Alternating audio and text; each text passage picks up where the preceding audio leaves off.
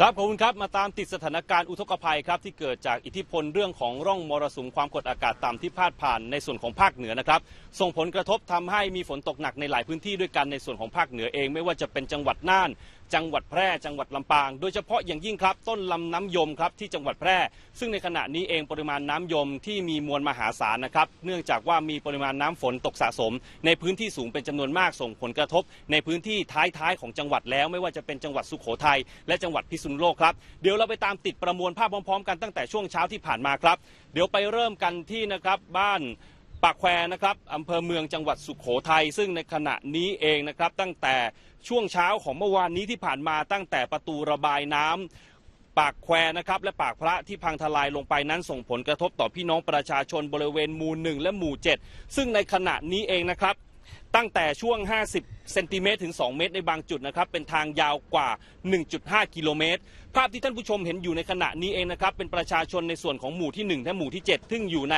เส้นทางความเสียหายหลังจากาที่มีปากพนังกั้นน้ำของส่วนของบ้านปากแควนะครับพังทลายลงส่งผลทำให้มวลน้ำจากลำน้ำยม ทวีความรุนแรงพัดพาในส่วนของพื้นที่ทางการเกษตร และพื้นที่อยู่อาศัยของพี่น้องประชาชนกว่า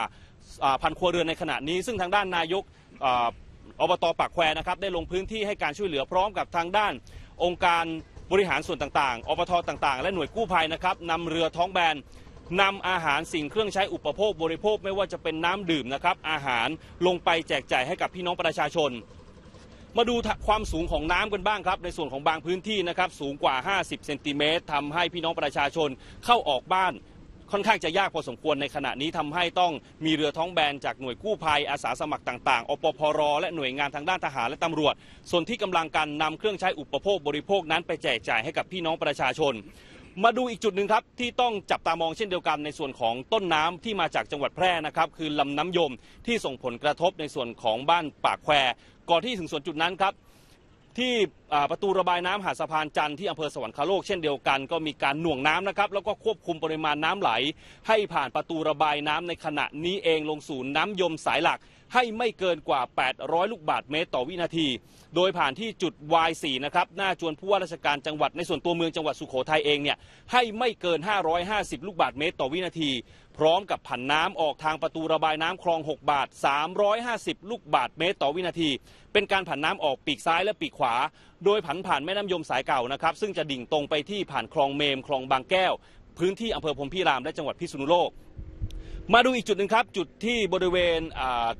สวรรคโลกเองนะครับในขณะนี้ล่าสุดแล้วนะครับ วัดปริมาณน้ำยม จุดสถานีดับเพลิง เทศบาลเมืองสวรรคโลกขณะนี้เองนะครับต่ำกว่า 10 เมตรแล้วนะครับ ซึ่งมวลน้ำก้อนนี้จะดิ่งตรงไปที่อำเภอศรีสำโรงอำเภอเมืองนะครับและที่ทางด้านของอำเภอกงไกรลาชจังหวัดสุโขทัยก่อนที่จะเดินทางไปที่จังหวัดพิษณุโลกเช่นเดียวกัน ทางด้านนายกเทศมนตรีในพื้นที่ครับที่อำเภอสวรรคโลกจังหวัดสุโขทัยได้สั่งการให้ผู้ใต้บังคับบัญชาทั้งหมดนะกำลังขณะนี้นะครับระดมสรรพกำลังกรอกถุงทราย ไปวางไว้ในจุดเสี่ยงนะครับ ที่ทางด้านน้ำเองมวลน้ำก้อนนี้จะขึ้นสู่ล้นพนังกั้นน้ำแต่การบริหารจัดการในช่วงนี้ครับต้องดูทางด้านน้ำเหนือนะครับที่เกิดขึ้น เนื่องจากว่าพยากรณ์อุตุนิยมวิทยาได้บอกไว้ว่าในห่วงจากหลังจากวันนี้ไป2อถึงสวันด้วยกันในส่วนของภาคเหนือและภาคเหนือตอนล่างเองนั้นยังมีฝนตกกว่า 70% ดังนั้นการตั้งรับนะครับไม่ว่าจะเป็นการตั้งเครื่องสูบน้ำออกจากพื้นที่ชั้นของเมือง และระดมสภาพกำลังทั้งหมดนะครับในการกรอกกระสอบทรายอุดในจุดอ่อนนะครับที่จะทำให้น้ำนั้นสามารถทะลุลงมาได้เนี่ยก็เป็นสิ่งสำคัญ ซึ่งต้อง ให้กำลังใจแก่ทุกๆ ฝ่าย และขณะนี้เองการช่วยเหลือครับ ไม่ว่าจะเป็นด้านของปากท้องอาหารในพื้นที่อำเภอสวรรคโลกที่บ้านปากแควนะครับ ก็มีการตั้งซุ้มหรือว่าตั้งเต็นท์นะครับ ให้ช่วยเหลือพี่น้องประชาชนในพื้นที่อย่างเต็มที่ มาดูอีกจุดหนึ่งครับ หลังจากน้ำที่เดินทางไปที่อำเภอศรีสำโรงอำเภอกงไกรลาชแล้วจะเดินทางไปที่บริเวณคลองเมมที่อำเภอพรมพิรามจังหวัดพิษณุโลกล่าสุดในขณะนี้เองนะครับ ยังเหลือระดับน้ำที่จะล้นในส่วนของชายฝั่งเนี่ยฝั่งสองฝากฝั่งอีกประมาณ 1 เมตร ยังไม่น่าเป็นห่วงเท่าที่ควรครับ และอีกจุดหนึ่งครับในจุดที่ปีกฝั่งขวาทางด้านของคลองบางแก้วอำเภอพมพิราเออขอไปครับอำเภอบางระกำจังหวัดพิษณุโลก ในขณะนี้เองยังเหลือของอพื้นที่ระดับน้ำที่สูงที่กว่าจะล้นตลิ่งอีกเป็นจำนวนมากครับ ก็ยังคงเบาใจได้ว่าในขณะนี้เองเราต้องประเมิน นาทีต่อนาทีในส่วนของมวลน้ำที่ผ่านมาจากจังหวัดแพร่ ผ่านทางด้านของจังหวัดสุโขทัยและดิ่งตรงไปที่พื้นที่รับน้ำอย่างเช่นอำเภอบางระกำซึ่งในขณะนี้เองมีการบริหารจัดการพื้นที่น้ำให้เป็นทุ่งรับน้ำแล้วในขณะนี้นะครับ ซึ่งจะเห็นได้ว่าการบริหารจัดการน้ำในขณะนี้เอง พื้นที่จังหวัดพิษณุโลกประชาชนได้ฉวยโอกาสในช่วงนี้เองนะครับ ทำเอ่อเรียกได้ว่าทำมาหากินในส่วนของด้านการประมง ซึ่งเป็นเอ่อเรื่องของท้องถิ่นอยู่แล้ว เดี๋ยวไปฟังเสียงของทางด้านนายกปากแควนะครับว่าในขณะได้รับนี้ควาเอมงมีการช่วยเหลือแจ้องย่างไรบ้างได้ได้รับเอ่อทางในส่วนของพี่น้องประชาชนนะที่ประสบอุทกภัยในพื้นที่ของหมู่หนึ่งและหมู่เจ็ดนะฮะจำนวนนะฮะตอนนี้ที่ผู้ประสบอุทกภัยเนี่ยจะอย่างของหมู่หนึ่งเนี่ยก็ประมาณสองร้อยกว่าคนเรือนนะฮะเบื้องต้นแล้วก็หมู่เจ็ดเนี่ยร้อยคนเรือน นะฮะแล้วก็รวมแล้วประมาณ 300นะฮะเบื้องต้นแต่ตอนนี้เนี่ยมันแผ่กว้างแล้วนะฮะวันนี้เมื่อวานข้อมูลตั้งแต่เมื่อวานนะแต่วันนี้แผ่กว้างไปขยายวงกว้างไป น่าจะทุกหมู่เอ่อทั้งหมู่นะฮะทั้งสองหมู่นะผู้เสียหายก็น่าจะใกล้ๆพันครัวเรือนนะฮะแล้วตอนเมื่อเช้านี้ได้รับแจ้งจากชาวบ้านนะฮะจากหมู่ที่หนึ่งว่าตอนนี้บ้านจะพังนะฮะเนื่องจากว่าน้ำเนี่ยแรงมากนะฮะผมก็ได้วิ่งไปดูแล้วก็ได้ประสานได้ความช่วยเหลือ นะฮะโดยการที่เรานำนะฮะเครื่องจักรโดยเฉพาะในส่วนของ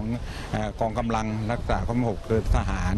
แล้วขก็ณะพี่น้อนี้งปเองระชาครับชนมาดูทางด้านสถานการณ์ล่าสุดที่ผ่านมานะครับในพื้นที่พี่น้องประชาชนในพื้นที่ตำบลปากแควเองนะครับก็ยังมีการช่วยเหลือตั้งเต็นต์ต่าง ๆ ไม่ว่าจะเป็นเรื่องของน้ำดื่มเครื่องใช้อุปโภคบริโภคนะครับช่วยเหลือพี่น้องในเบื้องต้นก่อน ทั้งนี้ทั้งนั้นครับต้องมาจับตามองว่าปริมาณมวลน้ำที่พาดผ่านอำเภอสวรรคโลกจะเป็นอย่างไรกันบ้าง ในขณะนี้เองครับทางด้านท่านนายกเทศมนตรีอำเภอสวรรคโลกจังหวัดสุโขทัยอยู่กับผมในรายการแล้วครับท่านนายกครับต้องขอเรียนถามว่ามวลน้ำในขณะนี้เองที่บ่ามาจากจังหวัดแพร่ ในส่วนของอำเภอสวรรคโลกเองเป็นพื้นที่หน้าด่านแรกที่จะรับมือมีการตั้งมือรับอย่างไรครับก็คือเทศบาลเมืองโลกนะครับเราก็เตรียมรับมือมา 3 วัน 5 วันแล้วครับ เพราะว่าเราเราทราบอยู่ปริมาณน้ำที่มาตรงนี้เนี่ยค่อนข้างจะมาก เราเองเราเตรียมพร้อมไม่ว่าจะการกระสอบทรายอะไรอะไรต่างๆ นะฮะเราทำพร้อมหมดเลยครับ พร้อมเตรียมพร้อมมา3วัน 5 วันแล้วครับ ยืนยันได้เลยว่าในเขตเทศบาลเมืองโลกทั้งหมดนะครับ พื้นที่ 6.5 ตารางกิโลเมตรเนี่ยเราเตรียมพร้อมแล้วก็เราป้องกันไว้อย่างดีเลยครับครับและในขณะนี้เองทางด้านพี่น้องประชาชนที่อาจจะได้รับผลกระทบแล้วแผนตั้งรับการช่วยเหลือเป็นอย่างไรบ้างครับ คือคืออย่างนี้นะครับเรียนให้ทราบว่านอกเหนือจากที่เราป้องกันแล้วเนี่ยแผนที่เราคิดว่าจะต้องช่วยเหลือชาวบ้านเนี่ยเราก็พร้อมหมดครับคือท่านมีความต้องการอะไร หรือถ้าเข้าเดือดร้อนเนี่ยเทศบาลเมืองโลกพร้อมที่จะดำเนินการทั้งทุกสิ่งทุกอย่างครับครับผม